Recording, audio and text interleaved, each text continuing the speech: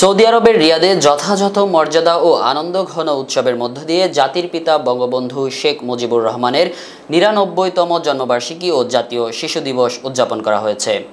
রবিবার সকালে দূতাবাস প্রাঙ্গণে এ উপলক্ষে পতাকা উত্তোলন করেন রাষ্ট্রদূত গোলাম মসি। এরপর দূতাবাসের কর্মকর্তা ও কর্মচারীগণ জাতির পিতার প্রতিকৃতিতে ফুল দিয়ে শ্রদ্ধা নিবেদন করেন।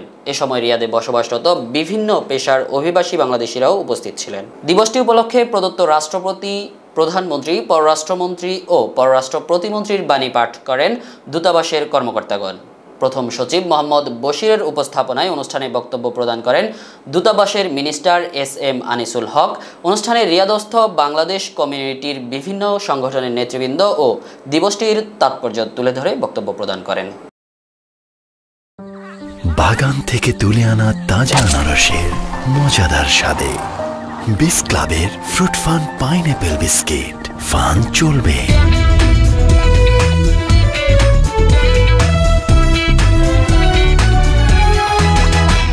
টিভি দেশ ও জনতার কথা বলে।